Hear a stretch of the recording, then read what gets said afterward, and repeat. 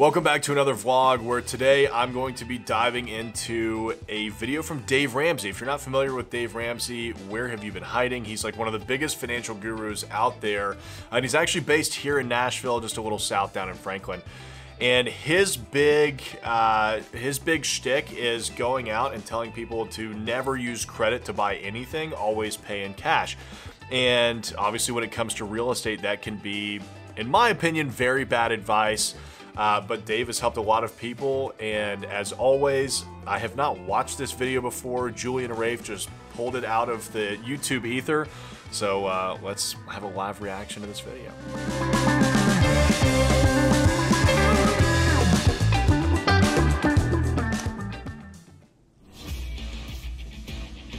Micah is with us in Little Rock, Arkansas. Hey, Micah, welcome to the Dave Ramsey Show. The video, by the way, is it's, it's, titled "Is investing in commercial real estate a good idea?" Obviously, we know it's a good idea, but let's see what Dave thinks. Hey, thank you. How are you doing, Dave? Better than I deserve. What's up?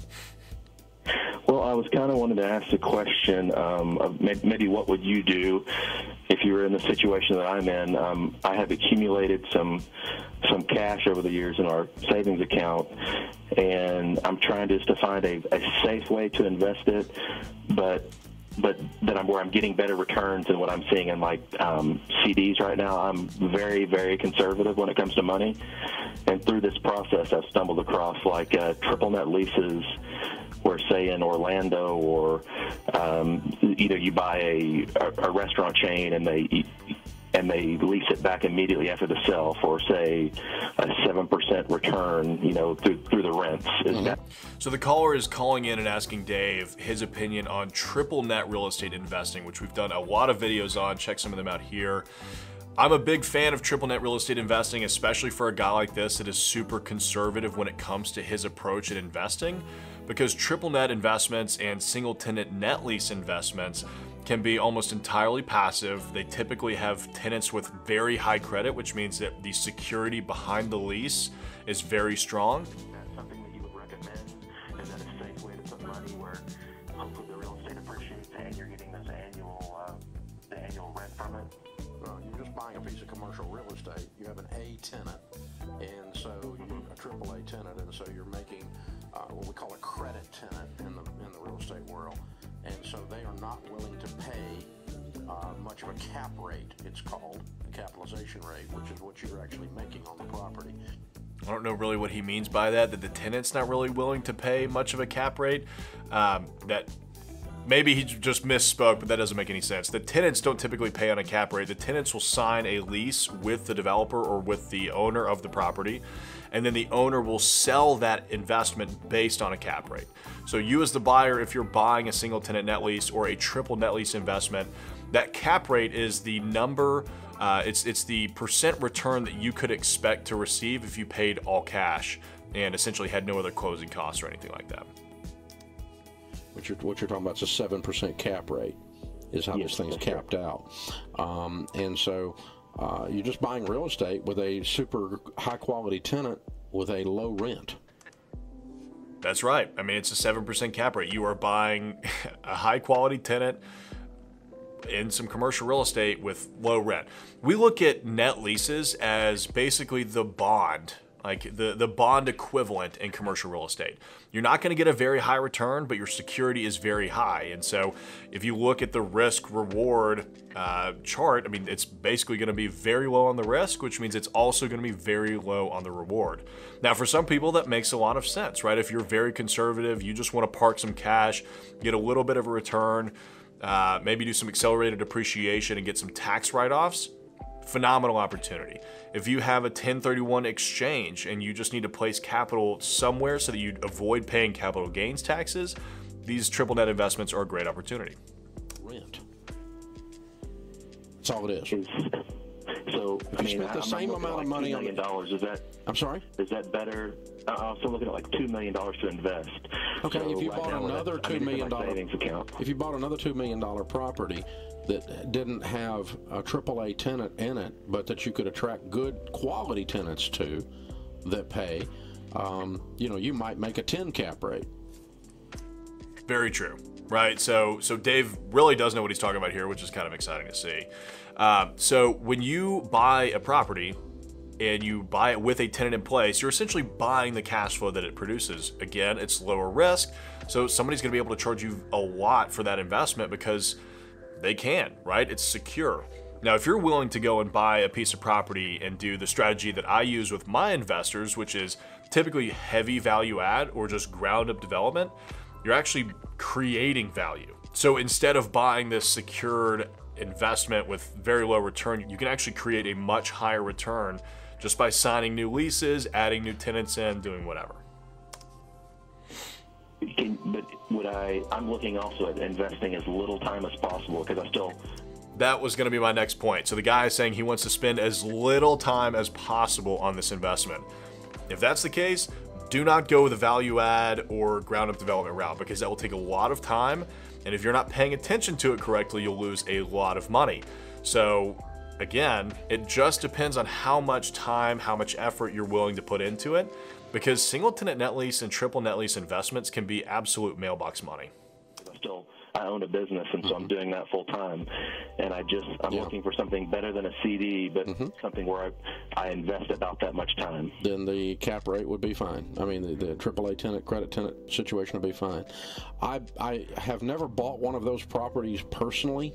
Uh, I've attempted to a few times, but I just demand more of a rate of return. But I own a lot of real estate, and so I own a you know property management firm that my son-in-law runs for us as a part of the deal, right? So you know I'm set up that way where you're not, and in your case, uh, with your risk aversion and you're not wanting to have any hassle factor, a triple net, triple A credit tenant means that you're doing no maintenance.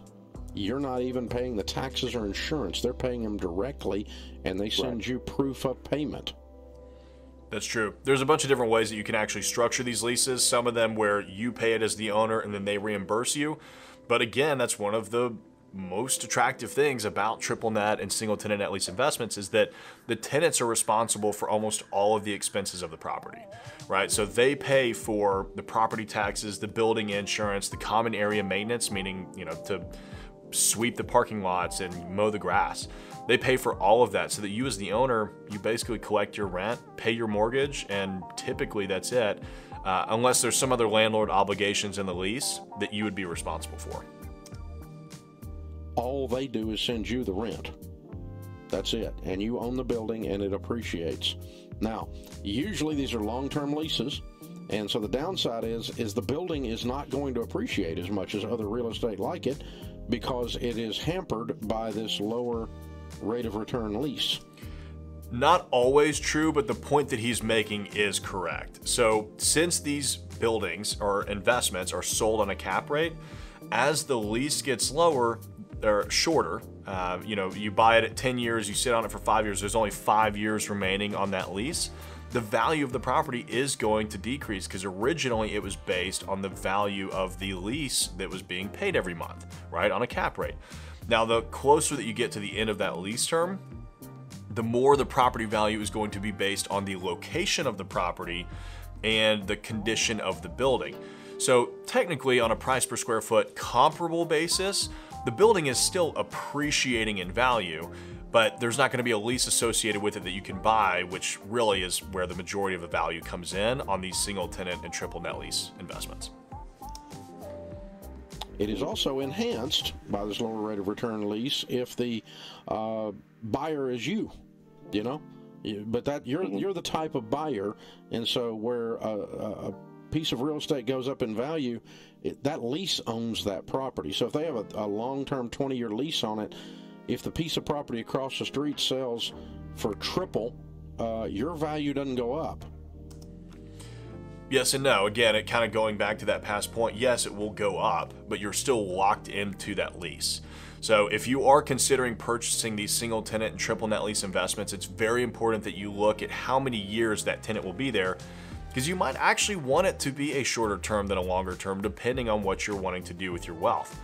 You know, if you have a, a lease expiring in the next seven to 10 years and the area is growing, that's pretty ideal because by the time that tenant has paid you out, you get the building back in an area that's had high growth, you'll be able to lease it for far more, increasing the value of the building, and then you can flip it on a cap rate and make a pretty good spread. Now, if that tenant has a 20 year lease, you're going to have to sit on it for another 10 years while everything else has been built up around you, then you may not get to uh, take advantage of that appreciation in the same amount of time. Now, obviously, when you go back to, to sell the property 20 years from now, it will be worth even more than it was 10 years from now, but then you're encountering the time value of money issue. Could you have sold that property 10 years ago, put that money into something else that gave you an even higher return? Because that lease has got that thing encumbered for 20 years. You follow me? We're actually going through this right now in a shopping center that I bought back in April. Uh, it was about 330,000 square feet that we closed on with some investors here in Nashville.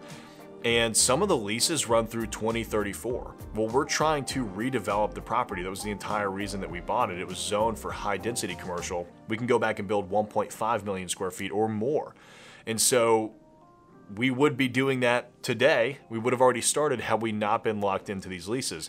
So it is important to consider why you want a long term lease. The steadiness of the cash flow is great, but it could also impact in a negative way the future value of the property depending on what your goals and your strategy is.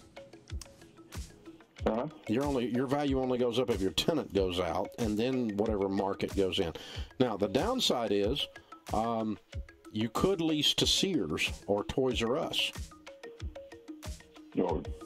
We've seen that quite a bit over the past few years where you've had Sears, J.C. Penney, Macy's, all of these big high credit tenants completely go out of business or file for bankruptcy. So just because a tenant has uh, what's considered high credit doesn't necessarily mean that you're going to have a secure lease. So it's important that you understand the tenant and their business and their financial situation if you're going to be buying these single tenant or triple net lease investments. Circuit City. Circuit City, yeah, exactly. Circuit City. Which, by the way, were all credit tenants at one time. Mm-hmm. They were all high, um, low cap rate um, uh, type tenants and would have been considered that. And I got a Toys R Us sitting about a uh, 300 yards from where I'm sitting right now. That's I don't own it, but I mean it's a building sitting over there empty.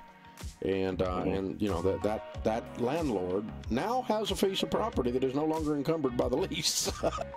I know exactly where he's talking about, and I guarantee you that that landlord is very happy that Toys R Us vacated that property. It's in the middle of one of the best districts, shopping districts in Nashville, and it's actually the highest density location for headquarters, for corporate headquarters in Tennessee. So that landlord getting that space back, they're going to do just fine. right, right. So, is there any? Is there something else that I'm not aware of where I could put this money, where I could get some use of it? Or I think yes, you could go and invest as a limited partner in somebody else's deal. So that's what we do with a lot of our investors. We are actually the active partners within these deals. And we deal with people all the time that either don't have the experience, don't have the capital, or just don't want to spend the time going through this process. It's what's called a syndication. Check out this video here where I dive into what a real estate syndication is.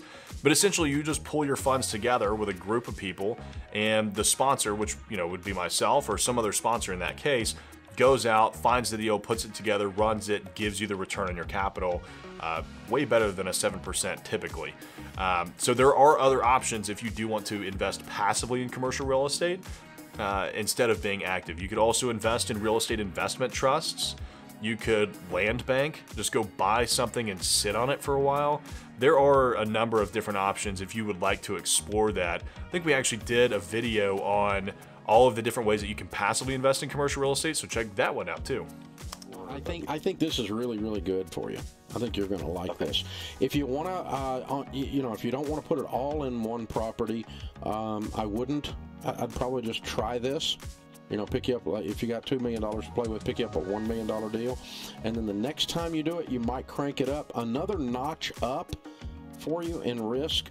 Would be a traditional triple net lease, uh, but not a credit tenant. And where you'll find that so again, this is going to that risk reward. Credit tenants are typically your national corporate brands that have hundreds of locations which means the chances of them filing and going for bankruptcy and going out of business are very slim right? So again, it's it's like I said earlier, it's treated like a bond. So these are very low risk, very low reward because of the credit worthiness of the tenant. Now, if you're going with a more local group, maybe they have one location or maybe they have three locations. Obviously, the the risk is going to be a little bit higher. You should be able to seek a higher yield on an investment like that. Find that that is a really you know probably a, a full point or two up on your cap rate um, in other words, you might make nine instead of seven, would be a good warehouse. If you have anything that is listed at a 9% cap rate in a good area, give me a call. You cannot find those anywhere right now. A lot of warehouses are triple net. The tenant takes care of everything and sends you a check, but the tenant may not be a household name that is a, a, restaurant chain or Walgreens or CVS or something like that, right? Which just about all of those deals are uh, I looked at one around the corner here. It was uh, Pier One Imports was a triple net or triple a credit tenant with a triple net. I looked at a while back. Um, about, five years ago, I guess I looked at that deal. But anyway, that that you can move up by in, in cap rate and a slight amount in hassle with a warehouse scenario, and that might be something to play with as your next purchase. But I think this is a fine purchase for you. Another one that people do, it's even a lower cap rate, is uh, like a post office because your tenant is the ultimate credit tenant. It's the U.S. government. So again, there's a range of credit worthiness, and you're going to have your local groups on the low end, your small businesses, your startups. You'll have regional groups, then national groups, and then of course the U.S. government. So post offices. I mean, obviously, it's like one of the most secure investments you could ever make, uh, but because of that, you're going to get almost no returns. Uh, they're typically in very good locations, though, and the U.S. government is likely going to renew that lease. So if you ever do get that back, it should be fairly easy for you to, to release at a much higher rate to another tenant, um, or you could just count on the U.S. government staying there for the rest of your life.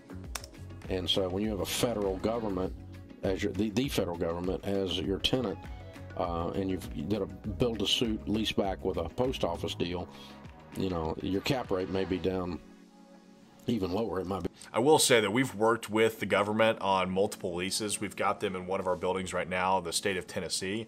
So not federal, but state of Tennessee. They are very difficult to work with because they have their way and that's the only way that they're going to do it, which makes sense, right? I mean, every corporation has their lease, their methods. So of course the US government's going to have their own. Uh, it is not always fun or honestly worth it. Or it might be down at five or four and some change right now.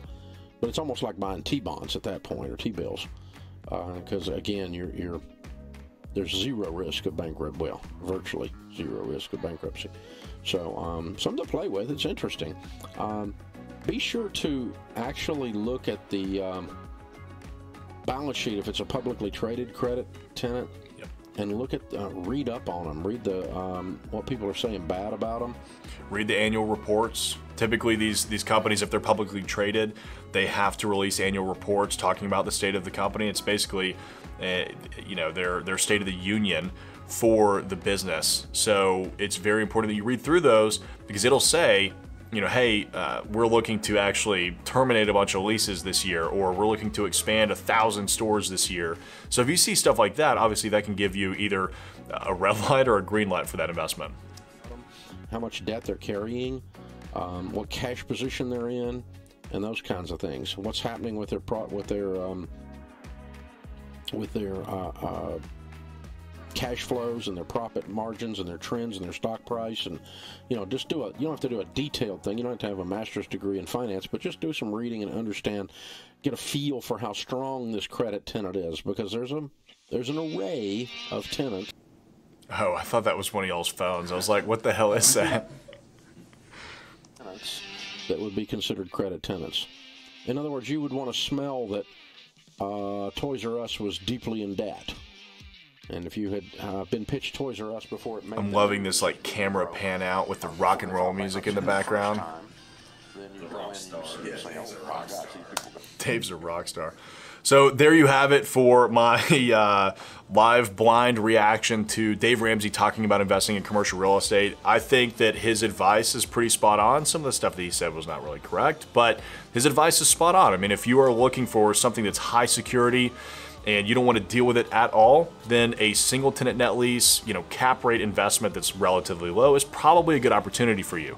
However, if you want to achieve higher yield and you want to aggressively grow your wealth and your passive income, then you may want to explore some other opportunities that are more value add, ground up development, or even investing with a syndicator in their projects. So there you have it. Cue the rollout and the rock and roll music.